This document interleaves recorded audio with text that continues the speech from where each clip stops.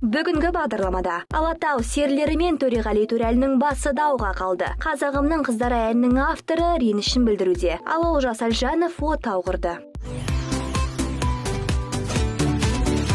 Алатау серілері төреғали төрәлімен бірлесіп аруларға қазағымның қыздары ай туындысын тарту еткен болатын. Алайда ән пікір талас тудырды. Нақтырақ жігіттердің өздері айтып бермек. Бұл ә, әңгіме негізі әннің сөзіне байланысты болып тұр. Қазағымның қыздары ай деген ә, біз орындаған сегізінші наурызға сөзін ауыстырып жазған едік.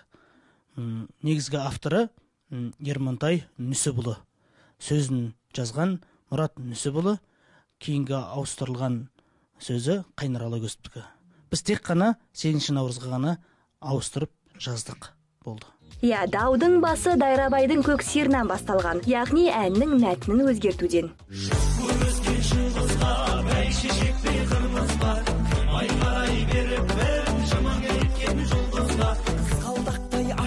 ашылған шоқ жұлдыздай шашылған еркелері даламның ел мерейін асырған күн қарамас көз сүзіп қолаң шашы жер сызса әйдай дай дай дай шіркін ай қазағымның қыздары ақ көйлегі бүрмелі ар ұятын жасырған әйдай дай дай дай шіркін ай қазағымның қыздары ән деп ойлағанбыз бұны бірақ біз әннің м, сөзін ауыстырып болғаннан кейін клипке дайындалып даярланып болғаннан кейін ортамызда м, біздің таныс ағаларымыз бар еді. Сол кісілерге бір ауыз айтқанда мен бұл менің құдамның әні ғой орындай беріңдер менің өз, өзім айтам деген. Ол әңгіме ол жаққа жетпеген бірақ ол кісі ермандай нүсіпұлы сөзін ауыстыруға қарсы болған. Біз ол кісі рұқсат берді екен деп клипті бейнебаянды бастап кеттік. Бейнебаян жарыққа шыққан соң желіде ұрлық па озбырлық па деген видео тарап кетті. Арада іріткі салушылар жоқ емес. Әрине басым көпшілігі жағымсыз пікір қалдыруда. Біз енді халық әні деп ойладық деп жаңа жәкең айтты.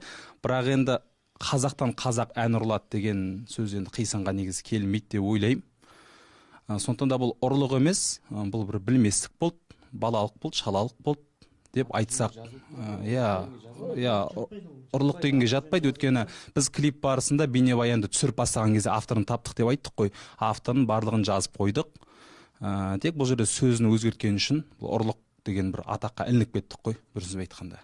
Видеоның астында жазбалардың көбісі төреғалиға байланысты. Халық төрештің кешірім сұрағанын талап етуде. Төрештің ешқандай кінәсі де жоқ. Төреш тек қана ә, өзі ұсыныс тастағанменен біздің клипке өздеріңізге де сұхбатына да беріп кетті. Тек клипке түсіп кетті болды. Қалған дүниенің бәрі біздің мойнымызда еді.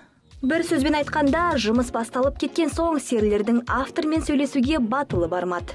Ну жұмыстың бәрі басталып кеткеннен кейін табылды ғой енді авторы. Ә, біз ол кісіге звондауға шын мәнінде бар ғой. Бізде жүрек болған жоқ біріншіден. Екіншіден бетімізде болған жоқ. Енді ешқандай ақын негізі өзінің сөзін өзгерткенін қаламайды ғой. Иә. Сондықтан да ол кісіге кішкене қысылдық бір сөзбен айтқанда звондап айтуға.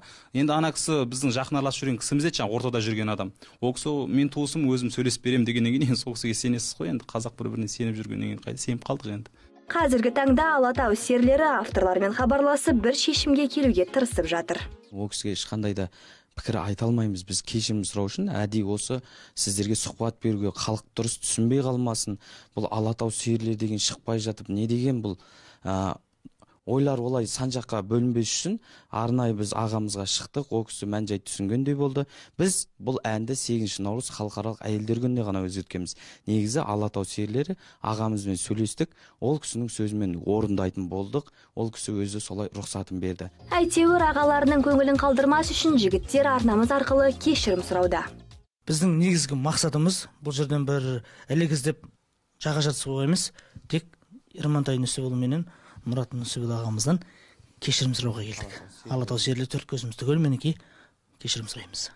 Істің соңы дауға ұласып кетпес үшін алатау серілері ағаларының алдынан өтуде. Әннің авторлары өз шешімін жасап інілеріне кешірмен қарар деген үміттеміз.